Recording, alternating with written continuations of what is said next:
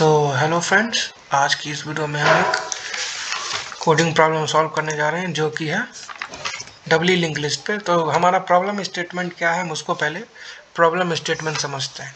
तो हमें एक डबली लिंक लिस्ट गिवन है, ठीक है? प्रॉब्लम स्टेटमेंट क्या है, वो समझते हैं। हमें एक डबली लिंक लिस्ट गिवन है, हमारा टास्क क्या परफॉर्म करना है। हमको एक ऐसा फ़ंक्शन लिखना है, जो कि लिंक डबली लिंक लिस्ट के लास्ट नोड को एज अ फ़र्स्ट नोड हमको बनाना है। मतलब link list doubly link list है। मतलब उसमें मान लीजिए उसमें पाँच नोड है। तो हमको करना क्या है? हमको फिफ्थ नोड को स्टार्टिंग नोड बनाना है। ठीक है? तो चलिए, इस चीज़ को हम इस चीज़ को सॉल्व करने के लिए अब हम कोडिंग स्टार्ट करते हैं। तो मेरा लॉजिक क्या है? लास्ट नोड तक पहुँचने के लिए हमको पूरे लिस्ट को एक बार ट्रेवर्स करना होगा स्टार्टिंग से लेकर एंड तक। तो उसके लिए हम एक लूप लगाएँगे। कौन सा लूप लगाएँगे? वाइल लूप लगाएँगे।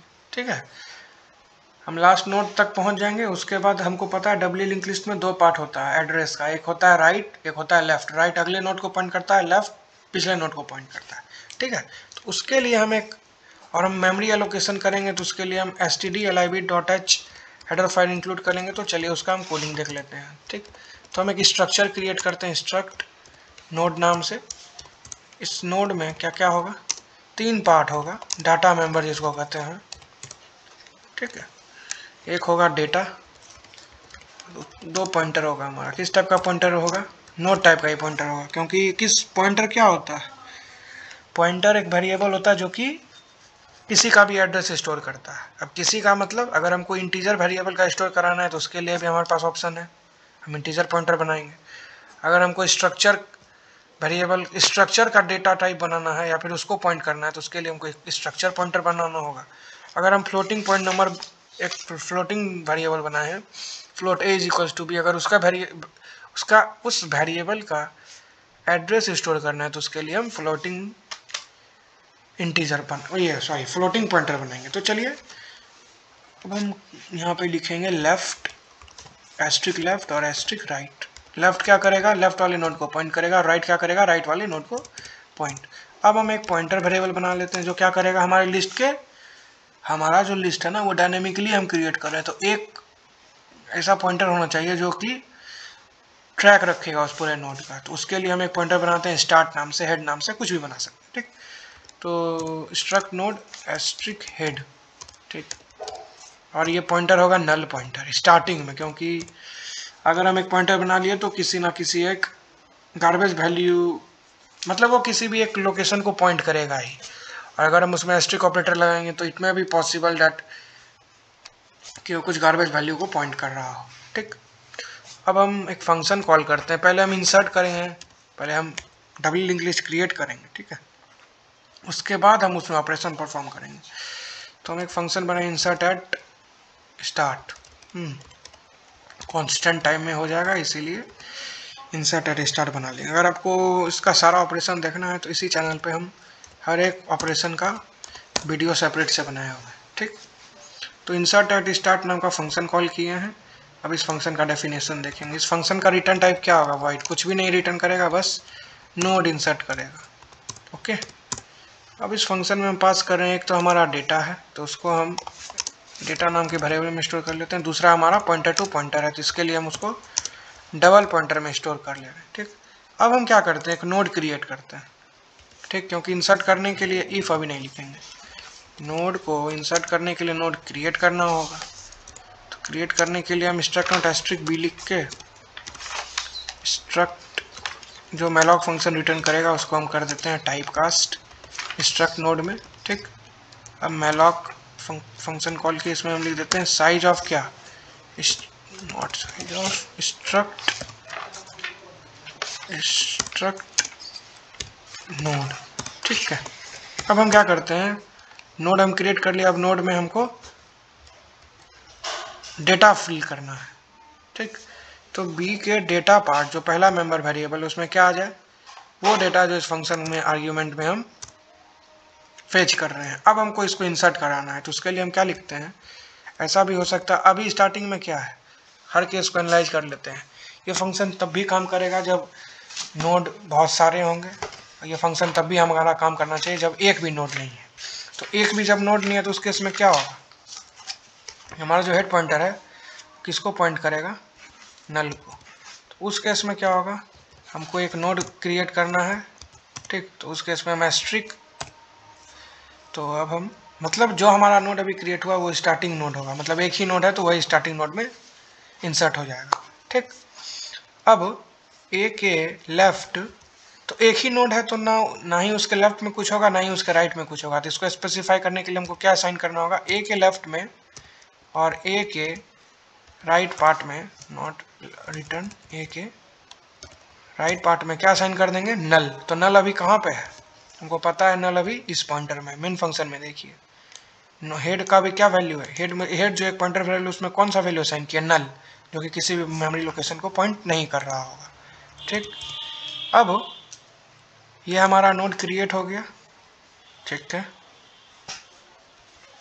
और एक स्टेप है ना, जो कि है asterisk of A assign not asterisk हाँ asterisk of A assign B ये इफ़ में भी चलेगा और एल्स में भी चलेगा, ठीक?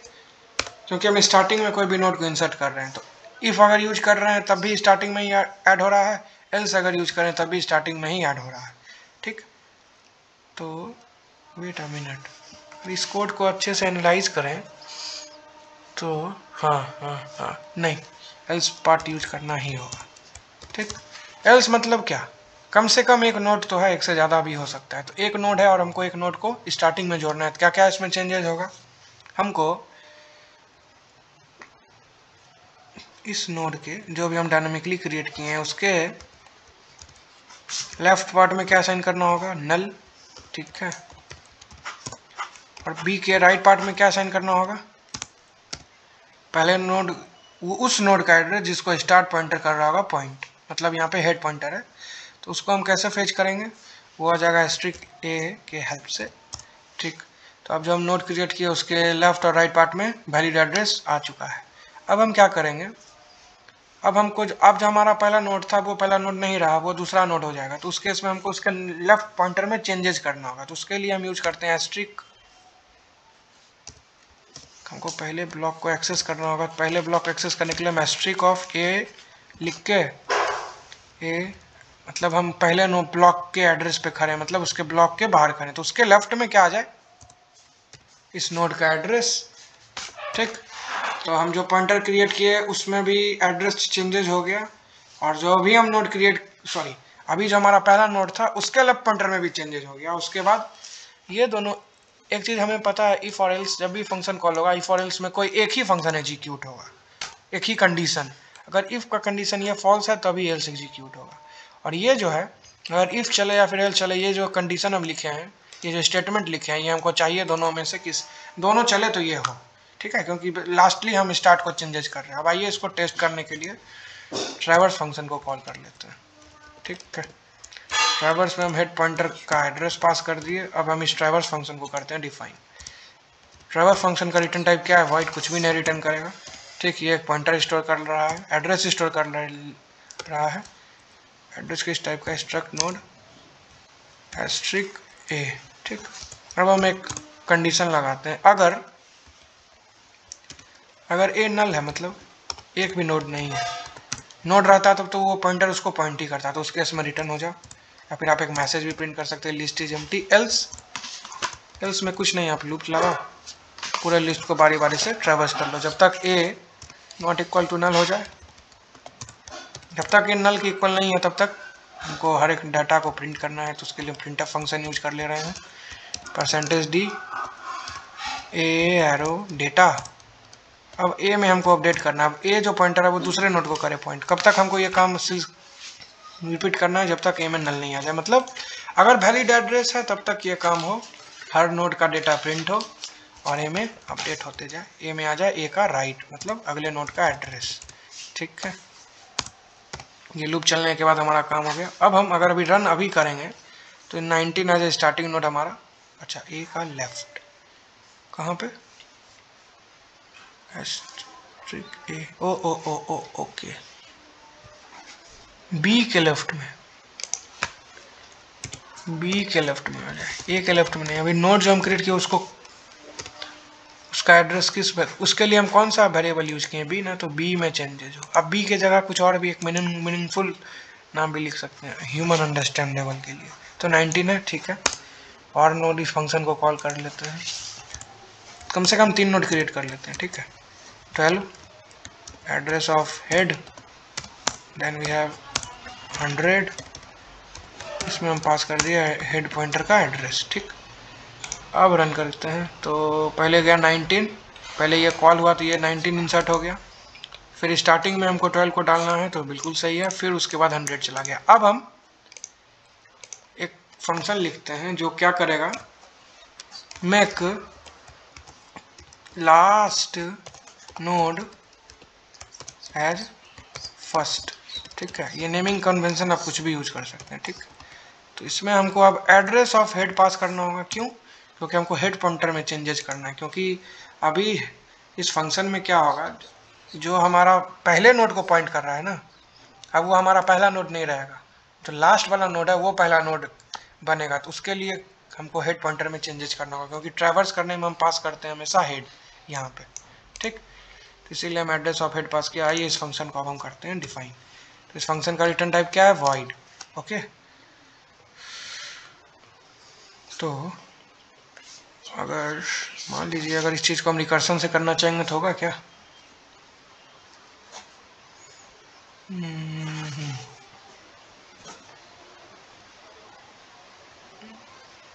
आइए पहले पहले इसका इटरेटिव कोड लिख लेते हैं, ठीक है?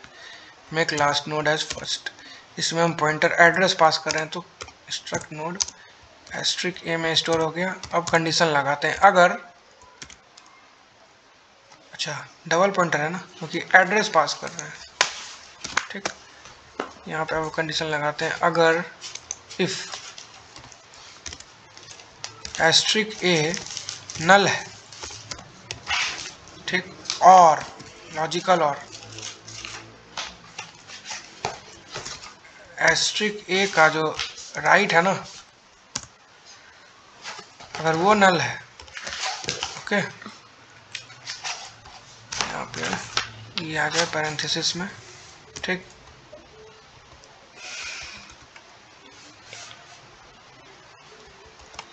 लॉजिकल एंड और अगर एस्ट्रिक ए का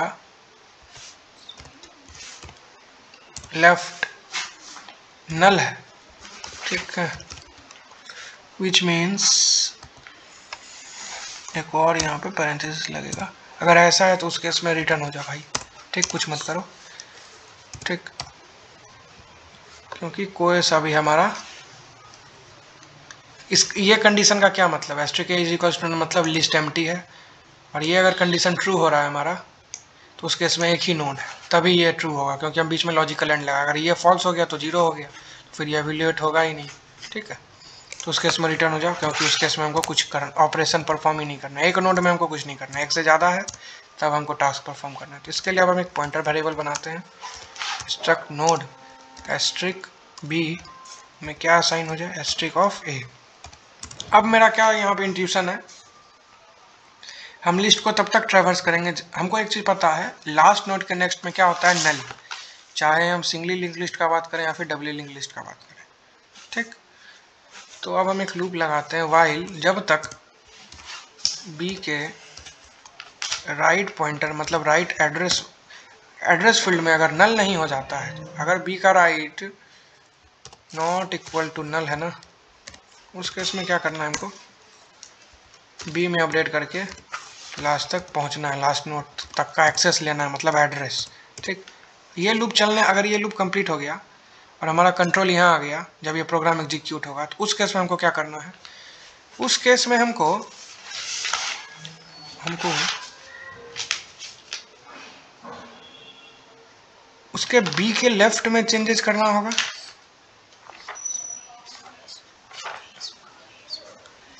तो हम लिखेंगे बी एरो लेफ़्ट मतलब सेकंड नोट का हम बात करें सेकंड लास्ट नोट का बात करें लास्ट से सेकंड लास्ट नोट मतलब इसके जस्ट बगल में। उसके राइट पॉइंटर में हमको चेंजेस करना होगा। क्यों? क्योंकि अब कोई सा भी नोड उसके आगे नहीं रहा, वही लास्ट नोड है। ठीक? और बी के लेफ़्ट पार्ट में क्या आ जाए? बी के लेफ़्ट पार्ट में असाइन हो जाए बी का जो राइट है।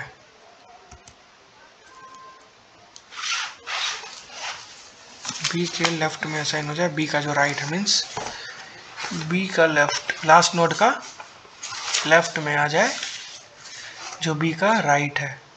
तो बी का राइट में अभी नल है ना? हाँ ठीक है।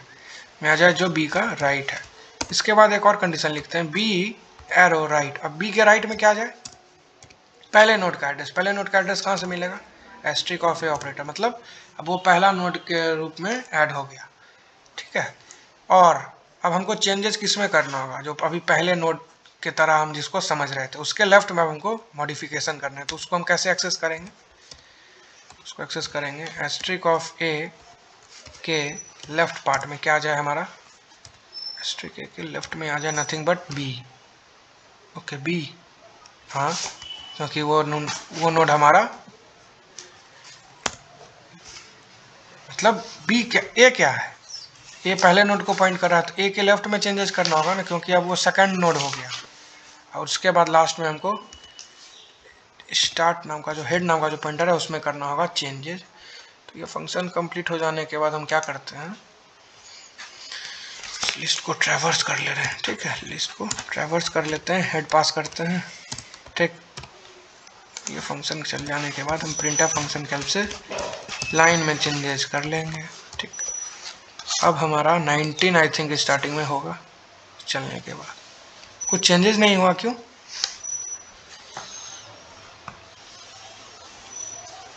हुँ? हम्म? कुछ एरर है क्या?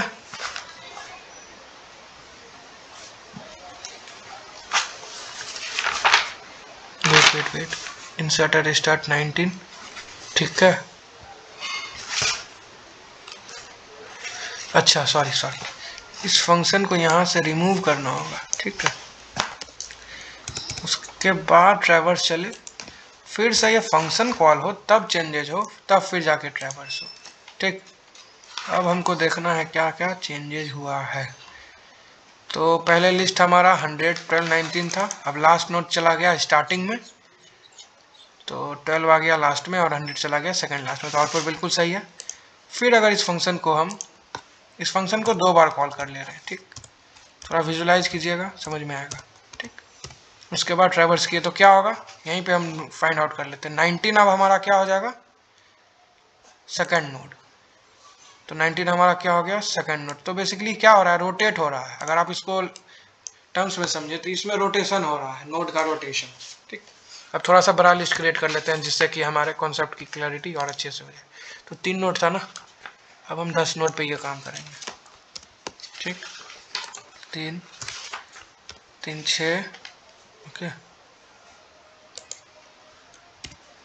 तीन छ तीन, नौ। इसके बाद एक और नोड क्रिएट कर लेते हैं। या फिर नाइन ही रहने देते हैं, ठीक? यहाँ पे वन ही रहने देते हैं। यहाँ पे वन हंड्रेड फिफ्टी टू यहाँ पे नथिंग बट टेन ही। यहाँ पे वन नाइन्टी यहाँ पे वन ट्वेंटी थ्री यहाँ पे वन ज़ीरो सिक्सटी ठीक। तो अगर इस फ़ंक्शन को अभी हम कॉल करते हैं तो क्या आउटपुट आता है वो देख लेते हैं।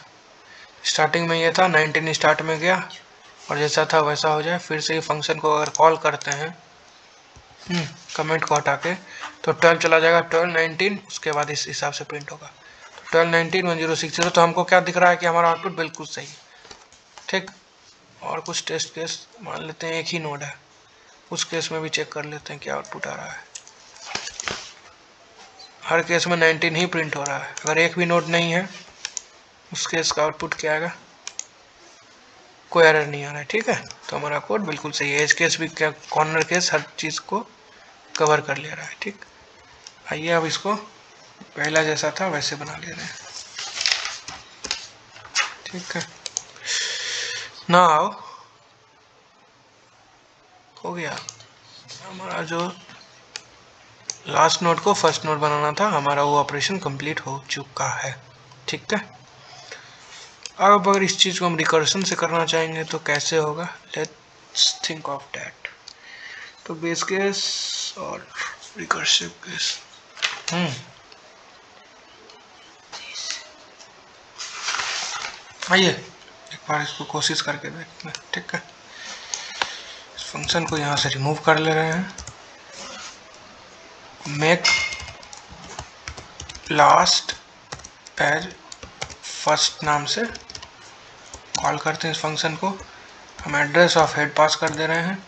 ठीक है? और क्या पास कर दें? हाँ एड्रेस ऑफ़ हेड ही पास कर दे रहे हैं। ठीक है? ट्राई करते हैं। लेट्स से कहीं काम कर जाए। ठीक, इस फ़ंक्शन का रिटर्न टाइप वॉइड है, कहीं क्या काम करेगा ठीक make last node as first इसमें हम एक पॉइंटर वेरिएबल पास कर रहे हैं मतलब एड्रेस पास कर रहे हैं डबल एड्रेस ठीक। पॉइंटर का एड्रेस इसलिए हम डबल स्टार यूज़ किए। अब हम बेस केस सोचते हैं, ठीक। अगर अगर व्हाट आई से अगर एस्ट्रिक ए का राइट क्या हो जाए? नल। ठीक है। अगर एस्ट्रिक ए का, अगर एस्ट्रिक ए का राइट नल हो जाए तो उस केस में हमको क्या करना हो जाएगा तब?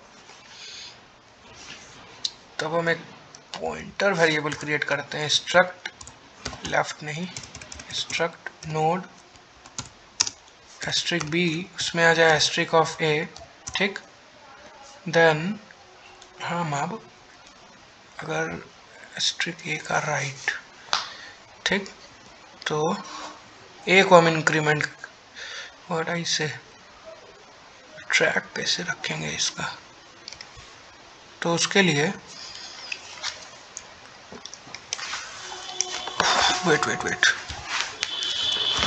थोड़ा सा हम एक काम करते हैं, ठीक? हम एड्रेस ऑफ़ हेड तो पास किए ही ना। हम एक और पॉइंटर वेरिएबल यहाँ पे क्रिएट कर ले रहे हैं, ठीक है? एस्ट्रिक बी और इसका इनिशियल वैल्यू है नल ठीक? हम उसको पास कर रहे हैं बी के टर्म्स में, ठीक? तो यहाँ पे आएगा struct node asterisk B okay अब हम कोड लिखते हैं। तो अगर what I say, if asterisk of a नल अच्छा एस्ट्रिक ए का राइट पॉइंटर में अगर नल है, ठीक तो उस केस में हमको क्या करना होगा? एस्ट्रिक ए का राइट पार्ट अगर नल है, ठीक तो उस केस में जो करना होगा थोड़ी देर बाद सोचते हैं और एल्स में आते हैं, ठीक। बी में आ जाए nothing but asterisk of okay अच्छा एरर आएगा। ठीक है? क्यों एरर आएगा बताते हैं। हम यहाँ पे सिंपली हेड ही पास कर रहे हैं, ठीक? अब हमारा काम करेगा। अगर ए आर और राइट नल है तो उसके इसमें क्या करना होगा? और बी में असाइन हो जाए ए ठीक है? बी में साइन हो जाए ए बी में साइन हो जाए ए और इस फ़ंक्शन को हम फिर से करते हैं कॉल।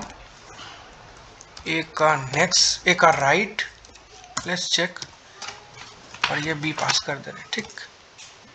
और ये काम हमको और ए के राइट में जब नल आ जाए तो ए के राइट में अगर जब नल आ जाए तो अब क्या हमको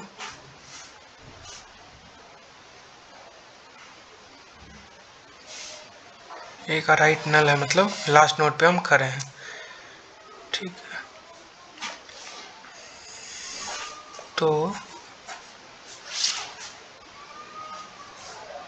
wait wait wait wait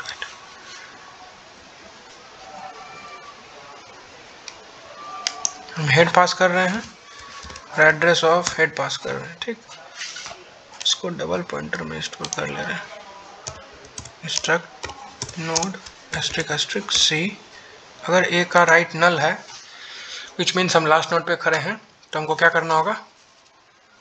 हम्म, तो उस केस में हम ए का राइट अगर नल है नथिंग बट बेस केस यही तो है। बेस केस सोचना थोड़ा सा टिपिकल है in terms of iterative code but we have to think A का राइट अगर नल है तो ए के ए के लेफ़्ट के राइट एड्रेस राइट पॉइंटर में क्या आ जाए? नल ठीक है? उसके बाद ए के हाँ ए के ए के लेफ़्ट में आ जाए नल ठीक ए के राइट में क्या आ जाए जो है एड एस्ट्रिक ऑफ़ सी में ठीक अब S wait asterisk of C के लेफ़्ट में भी चेंजेस करना होगा तो उसके लेफ़्ट में क्या आ जाए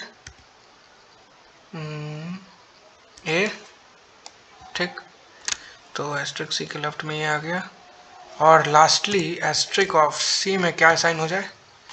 हमारा पॉइंटर वेरिएबल ए ठीक है?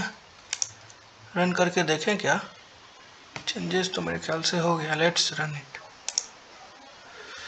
okay error यहाँ पे हम एड्रेस ऑफ़ सी पास कर रहे हैं। ठीक? हम्म एरर आ गया। अच्छा एड्रेस नहीं सिंपली सी पास होगा। ठीक? ओके तो हम इसको मैनुअली ट्रेस कर ले रहे हैं, ठीक है?